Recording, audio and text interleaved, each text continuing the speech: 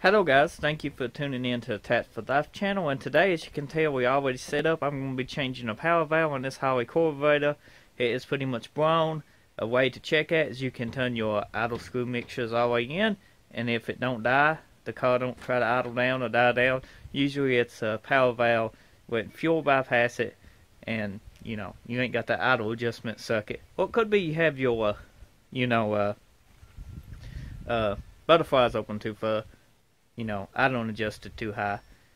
But if you're here watching this, I doubt you have that on a street car unless it's totally like cam to death and all that. So, yeah, let's just jump into it. I don't want to mumble on because you all want to see this video. That's why you clicked on it.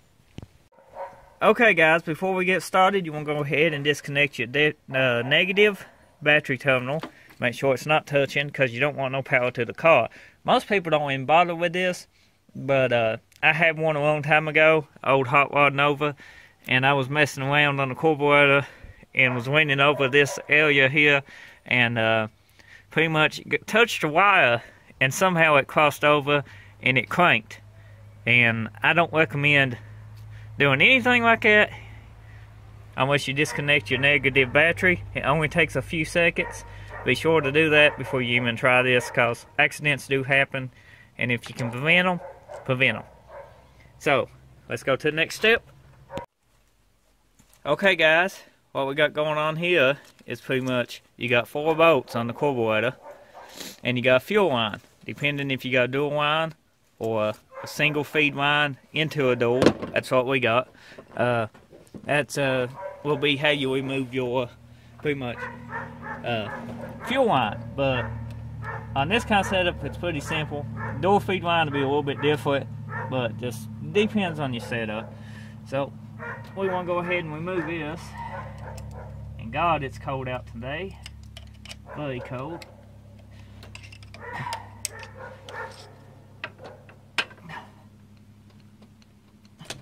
There we go. Got some gas leaking out. That is normal, people. Gas coming out is normal, so we're going to get a wag Way on it uh, catch all the gas we can. Okay guys, we went got a wag. This is an old towel. It'll do just fine. You can pretty much stick it under here. Because they are going to be fuel. No doubt about it. You're going to have fuel leaking out. You're not going to get around it. It's going to happen. Now, you can take your uh, ratchet, wrench, or whatever you uh, using. I'm using a ratchet and uh, the socket is an 8 and you know they ain't super tight. They actually not hardly tight at all. You can pretty much uh, just uh, very twist them as you can see they don't have to be super tight. These are not hardly tight at all. They do got a little force on them but nothing to hurt anything.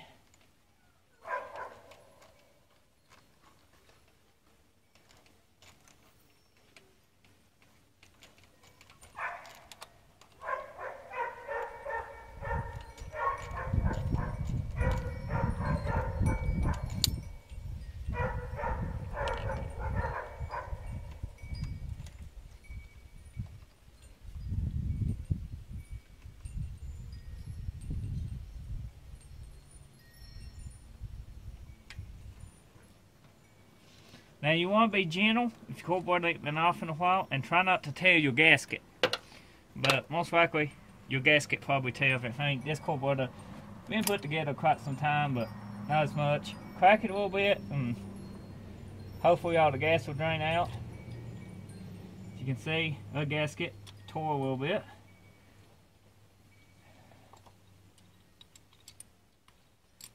Pull these on out a little bit more. Should be able to just pick up.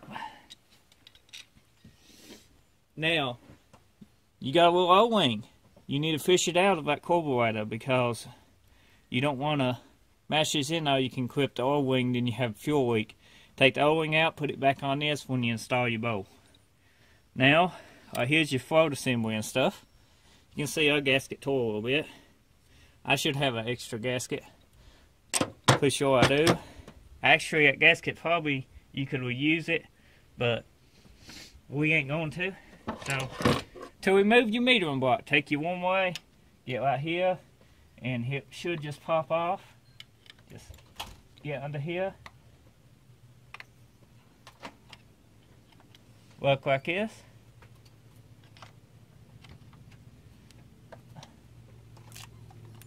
And there you go.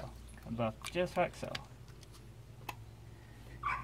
And the gasket is pretty well usable. Well, here's your power valve. Okay, guys, it's cold outside, so I came on in the house to do this. Pretty much, here's the old power valve. You can unscrew it. You can do a vacuum test and everything on this if you want to. The gasket looks good. This is a 6.5, as you can see right here. 6.5 if it'll focus. That goes on your vacuum weighting. You want to like if you got say 12 divided by 2 and you can come up with what power valve you need. This it's uh, basically the same exact power valve. I don't think this one's got a number on it anymore. It does. I don't see it. But this power valve, well, it help if I hold it on the cold water. This power valve is working pretty good, seems right. But uh, what's it doing is my vacuum ain't right and it's making the power valve all crazy. So let's go ahead and uh, install this with this one. So basically when installing your power valve, let me focus this in a little bit better You can take it and just screw it in, make sure your gasket is level. Take pliers, well, I hate pliers. Take you some pliers or something. Grab onto it like so.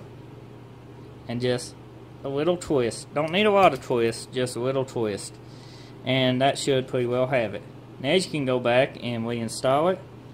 Look like this gasket is still might be usable. We can put it on and try it. That's the main thing. So uh, that has the metering block took care of. Okay guys, we just got the power valve reinstalled. The metering block gasket looks like it's good to go. I don't know if you can see it. It looks pretty good. We're going to clean this off with some brake clean or just wipe it off best you can because you really don't want no junk getting into anything and that's got a little bit of crud on it because that's an old power valve but it was a good power valve. It just come out of a carburetor we rebuilt so that's probably good enough. We can throw this back on. Goes on the same way it came off. Two little dowels. Hold it on there like so. Now once you get that you need to fish out your O-ring, which is pretty simple to do. You can take a little one way or something, fish it out. We'll fish it out with this guy. I don't know if you can see him. Like that, we got a hook, kind of a hook. Should be able to reach right back in there and fish him out. Just like so. Do you guys see it? I can't see the camera. I'm sorry, but like that's the little O-ring.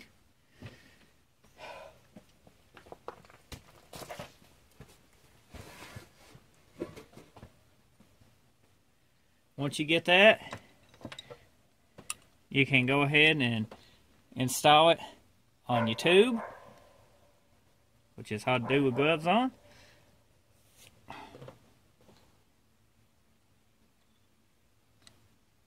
Just like so.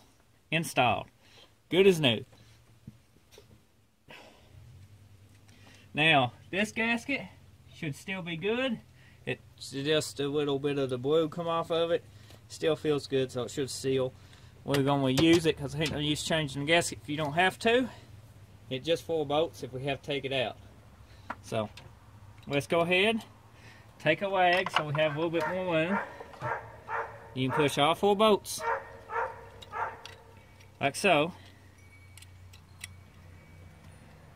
That will help pretty much get everything in. You want to make sure your arm right here is up and this is down.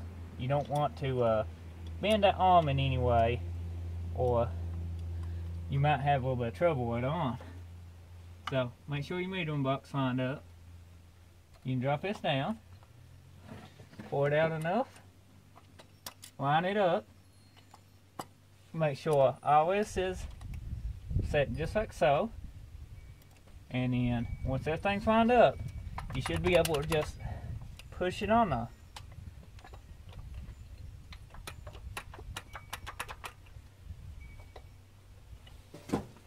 If I don't knock the camera off, make sure your O-ring is going too, just like so. But you don't want to cut that O-ring. If it don't go easy, you want to check, make sure why it ain't going easy.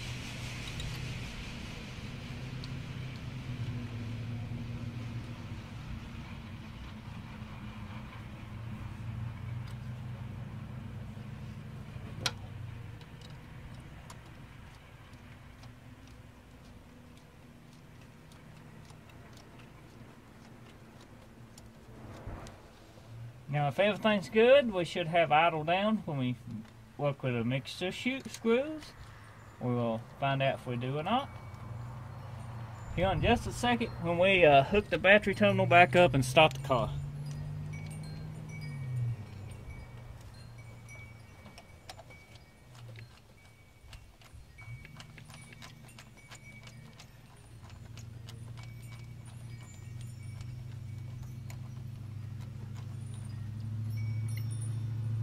Now remember, you got a gasket for a reason. You don't have to get them over tight. Looks like I got company too.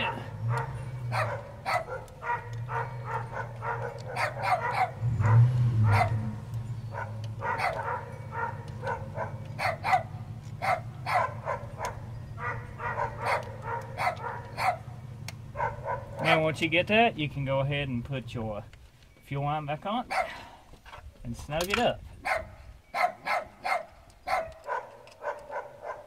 Okay guys, once you get your everything put back together the way it is, before you start it, make sure your idle screws are turned all the way in, back them out one full ton, and it should start up and run like a kitten.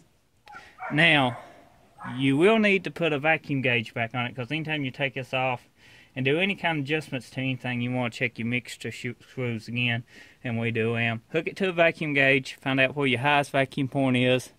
If y'all need to know how to do that, I'll make a video on that very soon. But that is pretty much the simplest way I can tell you to change your power valve on your car. We go in more details very soon on power valve and selecting the right power valve. If you do want to see that video, drop a like, drop a comment, and I will get on that ASAP. But if you don't want to see that video very soon, then uh, you know, just don't drop a comment or like because I eventually get around to it. But if you want it very soon, drop a like and comment. And until next time I see you then, take care. Bye bye.